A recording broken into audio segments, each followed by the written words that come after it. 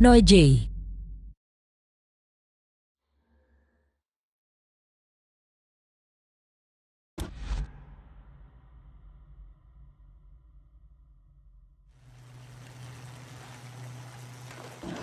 How's it going, booze man? Fine, goddammit.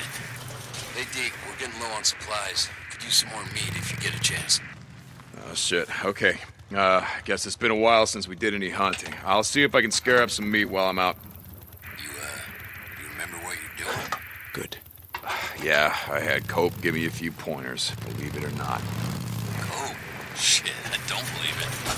Thanks, Steve. See you, booze man. Alright, now I just gotta find some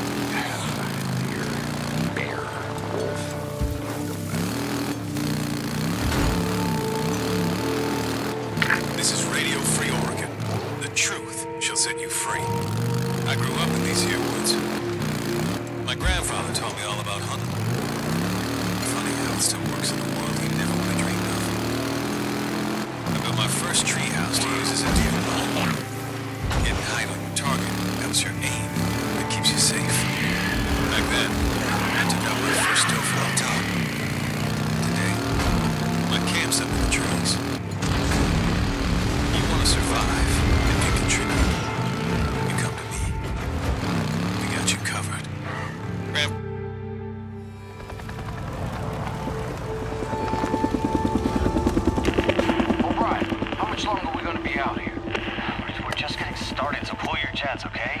Let me get back to work. Brian, this is gonna be it.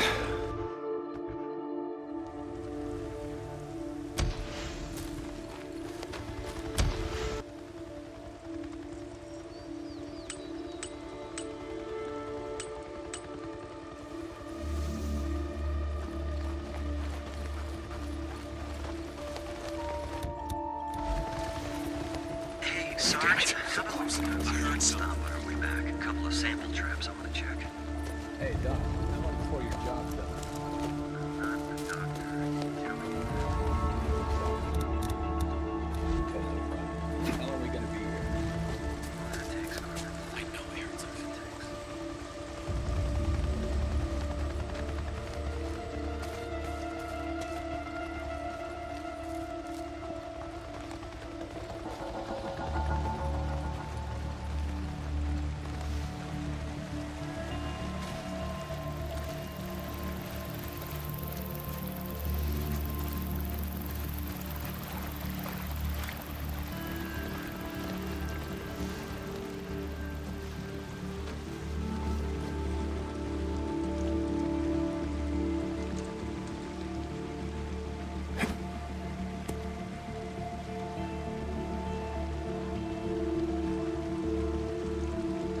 O'Brien, field note 2006. I approached the landing site. I observed a large swarm of insects, probably Tabanus atratus or Diptera, in a clearing well away from our designated target. From that distance, I could not discern what was attracting the insects, but from the size of the swarm, recent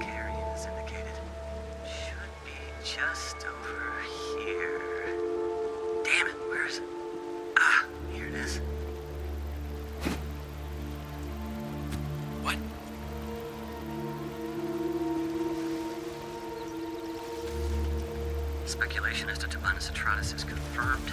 Lots of horseflies here. I've had the suit on me tight. Carrion is still mostly intact and appears to be Odocoileus hemionus or mule deer. Look at it this way, you poor son of a bitch. At least you weren't torn apart by freaks. If you lived a few more weeks, you might have become one yourself. Now, whether that meant something.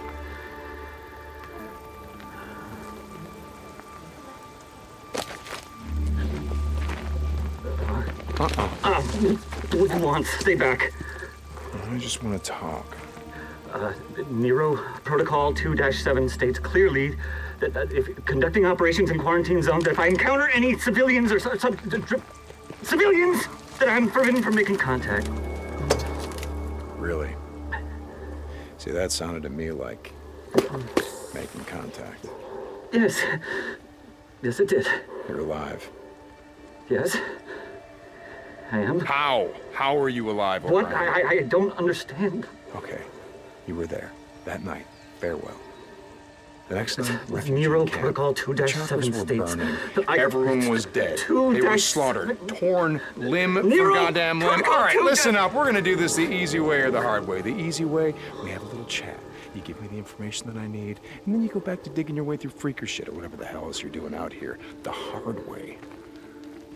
Crack open that little spacesuit, and then we see what your friends out there have to say about you breathing in all this contaminated air. So what's it gonna be, O'Brien? Yes? Okay, okay. You remember the rooftop of the old brewery. I put a woman on your chopper, she was wounded. Yes. I remember a, a knife wound. She, she was cut pretty bad. I went to the refugee camp that you said you were taking her to. Everyone was dead, so I'm gonna ask you again. How did you survive? Uh, we weren't there. We were diverted south to another camp. Uh, like you said, the camp in Belknap was overrun, so they moved us south to a camp outside of Silver Lake. Were there survivors? You mean now? I don't know. I, I was transferred to the research unit. Did she Oh, survive? wait, wait, wait, wait. I, I, I, I, I can find out. I, I can check. You- You have one of our radios. That's how you. Uh, I, I can't promise anything, but I'll, I'll check. Uh-huh, and I'm gonna go with you. No, Come you, you can't. Please, you don't.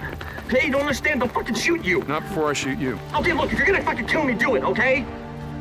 I did my job. Did the woman your wife? I put her on oxygen. I gave her an IV. I kept her alive. I got in a lot of trouble for that. She was septic. She wasn't gonna make it, but I got her to the mass unit. I saved her goddamn life. O'Brien, report. I have to go. Please, uh, you have to get out of here. You don't know these men. You don't know what they're capable of.